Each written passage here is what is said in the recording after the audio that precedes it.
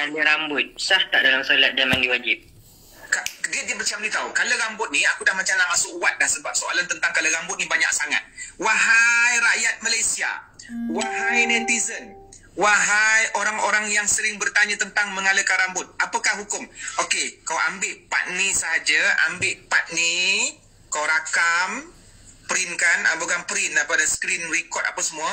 Hukum mewarnakan rambut sama ada dengan inai secara tradisional ataupun dengan artificial iaitu dengan bahan-bahan yang lain, chemical process, maka hukumnya adalah harus kerana mewarnakan rambut, proses menukar warna daripada warna rambut asal itu tidak kira daripada inai alam semula jadi ataupun ada campuran daripada kilang-kilang dengan bahan-bahan yang moden, tidak ada masalah kerana proses mewarnakan rambut ini berlaku pada zaman Rasulullah dengan cadangan Rasulullah sendiri menyuruh sahabat lelaki mewarnakan rambut iaitu nama sahabat itu adalah Abu Quhafah bapa kepada Sayyiduna Abu Bakar As-Siddiq. Iaitu dalam usia dia sedang tua veteran maka Nabi kata warnakan rambut kau tetapi elakkan warna hitam. Maknanya orang tua tak boleh pakai warna hitam kerana ada unsur penipuan kecuali orang tua tu nak pergi berperang supaya nampak kelihatan muda dan menjadi menakutkan kepada musuh-musuh Islam. Tapi kalau orang tua je nak duduk rumah, maka elakkan warna hitam. Dia boleh menggunakan warna-warna inai seperti coklat kemerah-merahan dan yang sewaktu dengannya. Nah, sekarang ini Nabi membenarkan untuk mewarnakan rambut.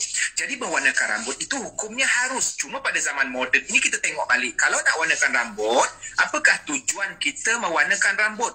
Adakah untuk menutup uban? Adakah untuk meniru budaya fasik orang-orang barat yang jahat? Ataupun adakah saja-saja? Kalau tujuan mewarnakan rambut saja-saja, tak ada masalah.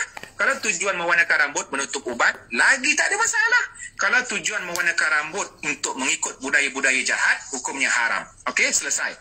Niat. Yang kedua, bila niat dah okey, kena tengok bahan yang digunakan dalam pewarna rambut. Kalau inai semula jadi daripada pokok inai belakang rumah, kau tumbuk-tumbuk, lepas tu kau turun sapu dekat rambut kau, tak ada masalah sebab tak ada bahan-bahan yang lain. Tetapi kalau kau beli daripada kedai, kalau kau tengok ingredient ataupun kau yakin dengan hati kau yang bahannya tidak dibuat daripada najis, maka tak ada masalah. Itu yang kedua. Yang ketiga, kena tengok bahannya. Adakah merosakkan nyawa dan kesihatan? Maka kalau tidak merosakkan nyawa dan kesihatan dan kau yakin, sendiri kau yakin, maka tak ada masalah. Yang keempat, tengok bahannya adalah menghalang air daripada wuduk dan juga mandi wajib. Maka kalau kau yakin tidak menghalang air, bermakna pewarna itu memang masuk meresap dalam zat rambut ketika mandi wajib, dia tidak menghalang daripada zat rambut, maka tidak ada masalah. So, empat perkara yang menjadi tawabit. Oh, ada satu lagi. Iaitu kau tengok warna yang kau nak gunakan untuk mewarnakan rambut. Mestilah warna yang tidak mendatangkan fitnah. Warna yang tidak mendatangkan fitnah ini contohnya warna-warna yang dekat dengan warna inai ataupun warna rambut. Contohnya seperti warna coklat, warna perang, warna kemerah-merahan, kuning kemerah-merahan yang dekat dengan warna asal. Tapi kalau warna hijau, warna biru, ini warna-warna yang digunakan oleh orang-orang jahat ataupun orang-orang kafir di barat yang nak menyesatkan umat Islam dengan berbagai warna yang boleh menarik perhatian dan menimbulkan gosip di kalangan masyarakat. Jadi benda-benda lima syarat yang mesti dipenuhi untuk menjadikan mewarnakan rambut itu hukumnya adalah harus selesai. Okey?